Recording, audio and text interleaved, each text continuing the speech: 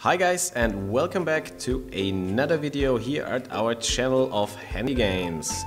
Again, it's Jan, your favorite tester and video maker here at our channel. Um, for today I prepared a tutorial video and this time we will have a look at how the sheep health, dangers and satisfaction work in Clouds and Sheep 2.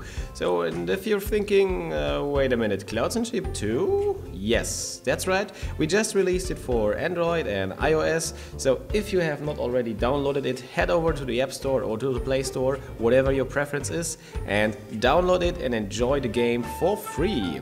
Okay, now let's get started. Here we are at my sheep pasture and as you might notice something is missing. Yes, the sheep are missing of course. Well what happened? Um, I was a very bad shepherd and I was not able to provide for my sheep. So the only thing that remained on my sheep pasture is this sad little graveyard over here. But what can we learn from that? Basically there are many things that can happen to your sheep. The first one, um, yeah, Heli's buddy. He got struck by lightning. I have no idea if it was intentional or an accident, but yes, that is what hit him. Second, huh, Emily. Well, I was not able to give her some uh, warm clothes or um, yeah, some uh, campfire, so she froze. Also very sad. Molly, I was not able to give her enough to eat. And last, Katie, I was not able to give her something to drink or enough to drink. Yes, that's a very sad state, but if you don't uh, have the ability or whatever happens to your sheep and you can't provide for them, we give you a new sheep for free. Just put it over here. And the next one is only one happy star.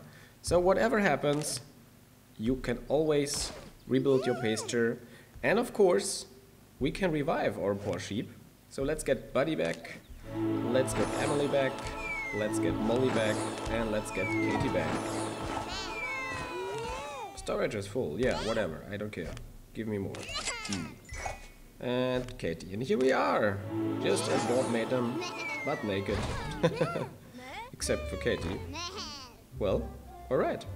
So, our sheep pasture looks quite nice now.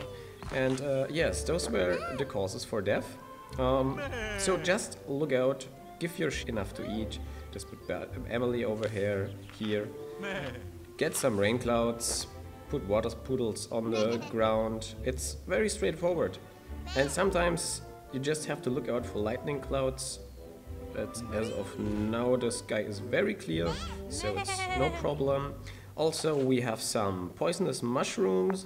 Let's see if I can find some on my pasture.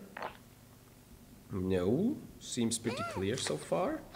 So yes, that's basically it. It's very easy, very straightforward.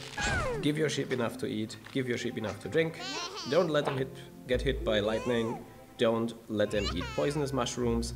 And if, uh, if you see that your sheep are starving or need something to drink just have a look over here. You can give them like this bucket of water over here.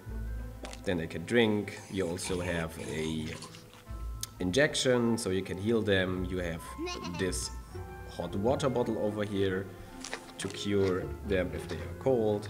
Yes and a lot of options that's it so far, I guess, for this short tutorial video.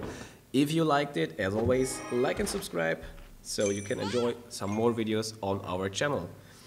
That's it. See you guys next time.